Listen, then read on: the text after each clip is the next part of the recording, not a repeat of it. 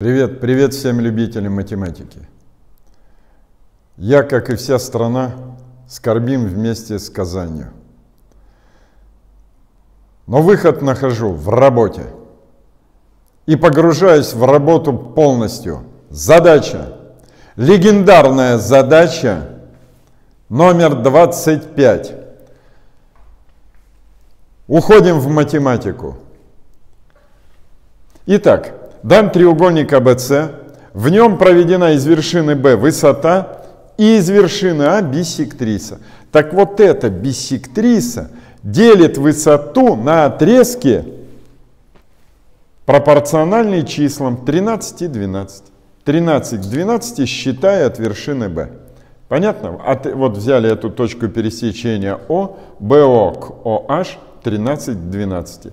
Сторона BC 20, надо найти радиус описанной окружности. И можно ее не чертить. И даже радиус можно не находить. Э, центр этой окружности, радиус не чертить. Вот, друзья мои, эту задачу никто не знает, как решать.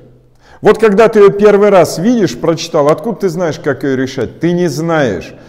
Но работает наш метод – это потрясающая геометрическая головоломка. Наш метод следующий. Начинаем с вопроса. Вопрос какой? Радиус описанной окружности. В голове сразу ассоциация. По теореме синусов два радиуса описанной окружности равны сторону разделить на синус противолежащего угла. А у нас есть уже одна сторона. BC20. Делим ее на синус противолежащего угла, на синус угла А. И значит, если нам удастся найти синус угла А, то мы 20 разделим на синус, на это число, а потом разделим еще на 2 и получим радиус описанной окружности. Вот такой наш план. Попробуем его реализовать. Первое, что пришло на ум, вот в этой сторону и поработаем. Так, это что у нас такое? Это что-то я подписывал, да, наброски делал. Так, ну, синус прозвучал. Синус надо найти, надо определение синуса произнести. Синус острого угла прямоугольного треугольника равен отношению противолежащего катета к гипотенузе. Синус угла А равен. Есть у нас прямоугольный треугольник, где находится угол А? Есть. Вот он, ABH. Вот противолежащий катет BH разделить на гипотенузу АБ. Если нам удастся найти BH и АБ, то мы получим синус. Или есть еще такой вариант. А что если мы узнаем, сколько частей в отрезке BH и сколько таких же частичек в отрезке АБ, мы тоже сможем найти отношение этих сторон. Это тоже вариант. Не обязательно находить их значение численные этих отрезков. Ну, давайте работать. И еще, еще наш такой метод. В нормальных задачах по геометрии все условия работают. Условия высоты мы уже отработали. Прямой угол получили. Дальше. БО и OH, ну, у нас еще, может быть, сработают. Отрезок BC уже работает. Бисектриса еще не работала. Ну и что, что бисектриса делит угол на, два равных, э, на две равные части? Это нам не пригодится в данном случае. Но есть еще тайное свойство биссектрисы. В восьмом классе его изучали. Биссектриса делит противоположную сторону треугольника на отрезки, пропорциональные прилежащим сторонам. Наша биссектриса в двух треугольниках делит противолежащую сторону. Первая вот в этом треугольничке – и в большом. Но нам интересен все-таки маленький первый прямоугольный треугольник, потому что в нем нам известно вот это отношение. Итак, внимание, биссектриса треугольника делит вот этого треугольника, видите его? Делит противоположную сторону BH на отрезки, пропорциональные прилежащим сторонам. Это означает, что вот этот отрезок относится к этому, как вот этот, видите, он прилежит к этому, ко второму прилежащему отрезку АБ на АH. Но отношение БО к OH нам известно 13 к 12. Итак, внимание, в отрезке АБ 13 каких-то частей, а в отрезке AH 12 каких-то частей. Эту частичку вот я взял за x. Поняли? Тогда, посмотрите, здесь у нас есть 13 частей, мы можем узнать, сколько здесь частей. И вот сейчас, внимание, кто-то скажет, так здесь же их 25.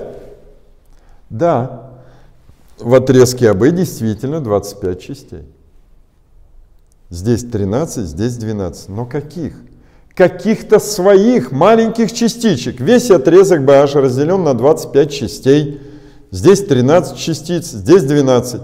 Как вы думаете, если отрезок БО разделить на 13 одинаковых частей, и отрезок АБ тоже разделен на 13 одинаковых частей, будут эти частички равны? Да нет, конечно, потому что отрезок больше, это меньше. Итак, внимание, здесь 13 частей в гипотенузе, в другом катете 12 частей. Тогда в этом по теореме Пифагора 169 минус 144 и корень извлекаем из этой разности. Корень из 25 5 частей.